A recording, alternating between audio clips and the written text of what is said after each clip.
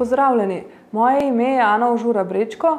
po poklicu sem klinična psihologinja in se pri svojem delu na nevrološki kliniki predvsem ukvarjam z bolniki z multiplo sklerozo,